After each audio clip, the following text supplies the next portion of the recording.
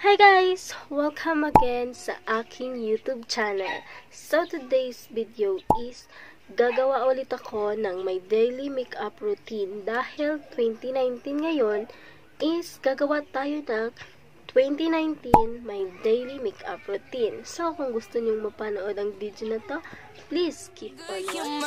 Of my mind, standing on the outside,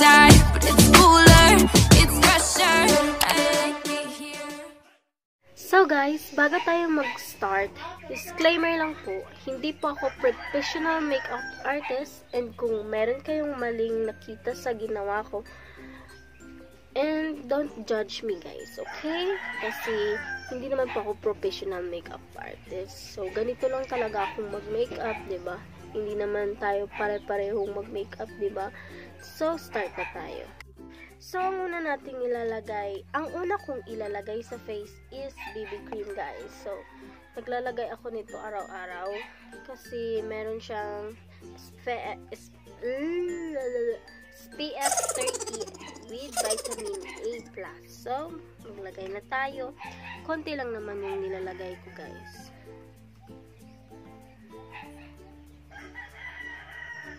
Maglalagay tayo ng konti. Face.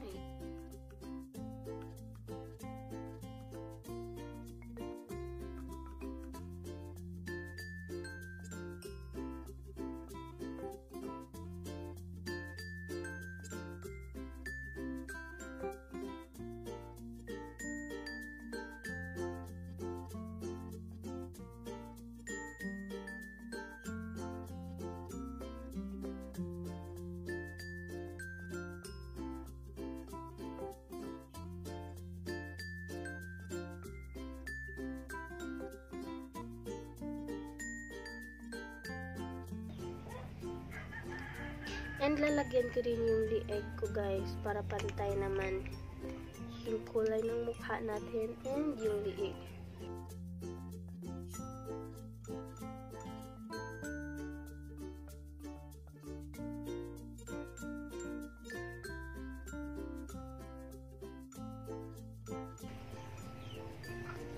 And then, matapos ko ng Pagkatapos ko nang maglagay ng BB cream sa mukha, is isiset ko muna siya ng powder. Okay. Yung powder ko palang ginagamit guys is powder lang siya yung basta powder, ganito oh. Ayan. Nabili ko siya for only 20 pesos. Gagamit ko ng brush para iset.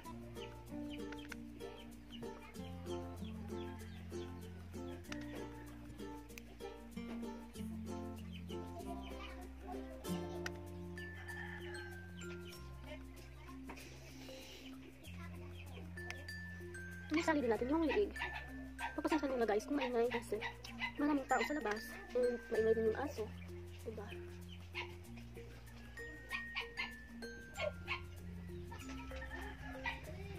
So, ayan.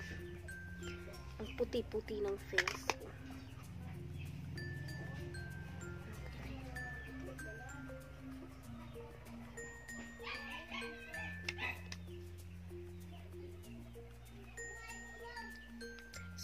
pagkatapos nating iset yung mukha natin ng powder is magkikilay na tayo.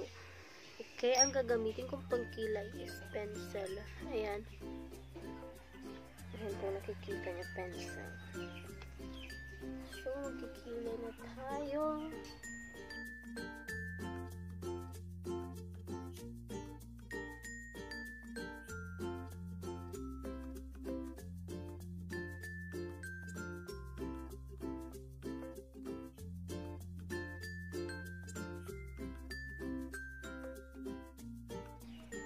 Alam nyo ba guys, yung kilay ko is hindi siya pantay. Iwan ko.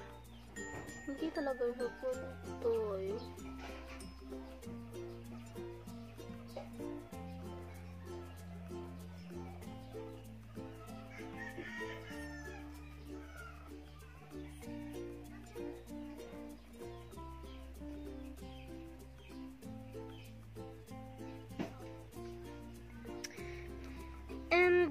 And i-blend lang natin siya gamit din itong sponge niya, eh, itong blender niya. Ayan, kung nakikita niyo yung blender niya. Ayan. So, meron naman akong spoolie. Pero hindi ko alam kung saan ko nilagay.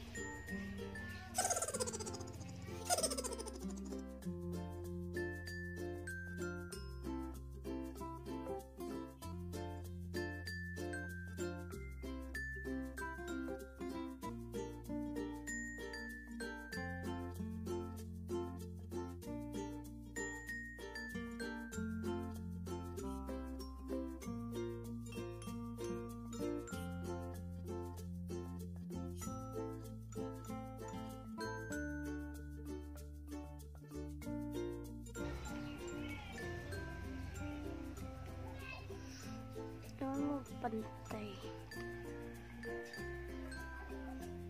Pero parang hindi.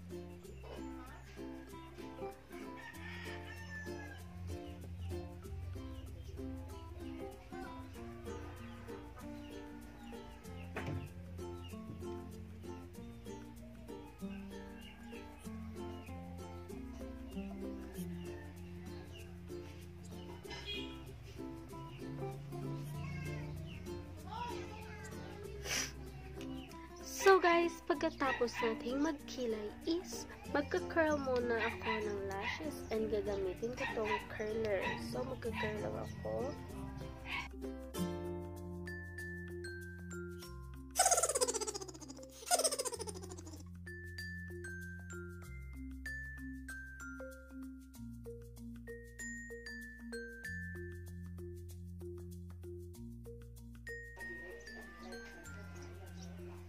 So, ayan, nakaya na natin yung lashes and magmamaskara na lang tayo. And ang gagamitin kong mascara itong MAC ng Ashley Shine. So, ayan. Meron siyang eyes, ears. So, ang cute lang. At parang kumakanta na po ako dito. Ang ingay. So,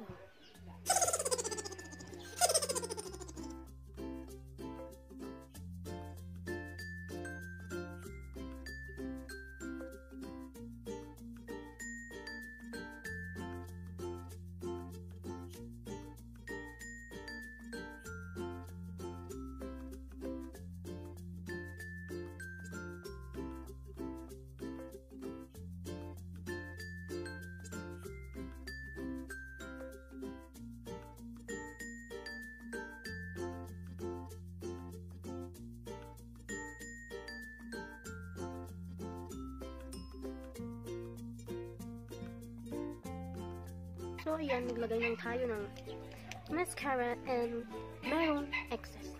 Excess ba tawag dun, guys?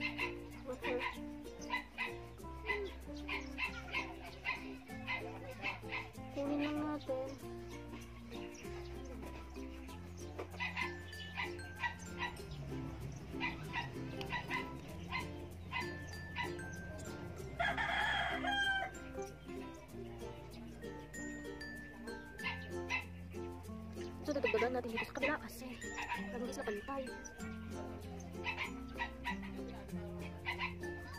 So, ayan.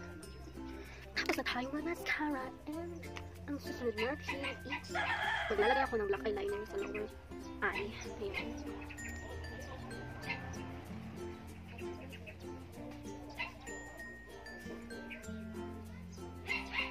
So, ayan. Tapos na natin maglagay ng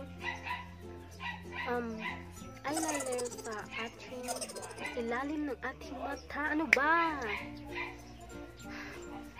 So, ang susunod natin ilalagay is lip and cheek tint. So, ito din yung gagamitin ko mamaya dito sa aking lips and ito muna yung gagamitin ko dito sa ating cheek. So, para naman may kulay yung mukha natin, guys. Diba? So, oh my gosh. Ang lip tint na to is sa Simi. Ayan o. Iwan ko, guys, kung kilala nyo tong brand na sa Simi. Ayan. So, maglagay lang tayo ng konti.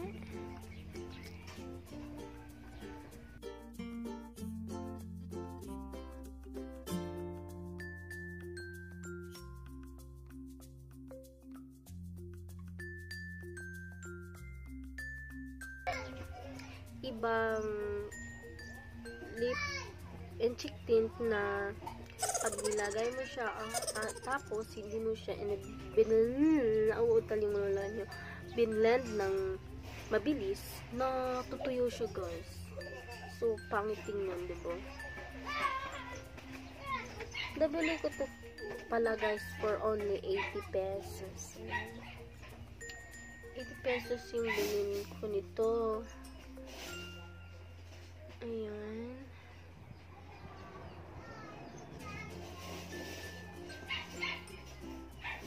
Ewan ko guys kung na-appreciate niyo ito.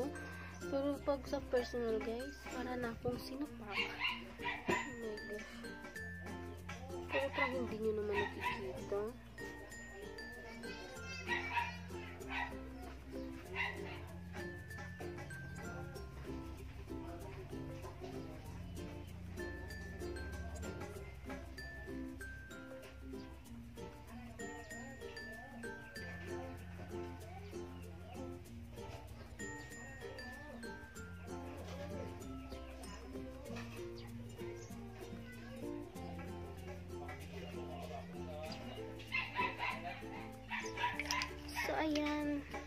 Na tayo maglagay ng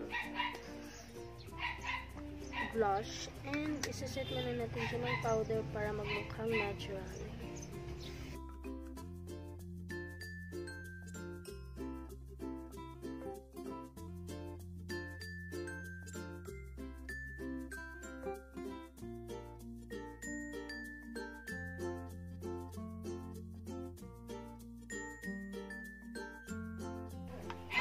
Hindi nyo kasi masyado makita dito sa kabila guys kasi madilim yung party dito.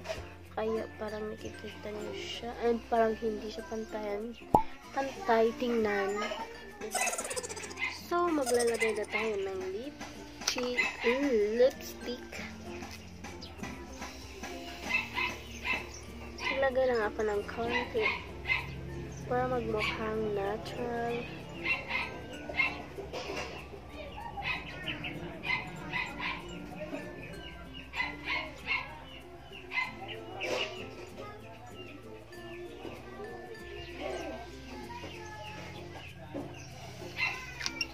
Then, maglalagay lang ako ng lip shiner para naman kumintab yung lips natin.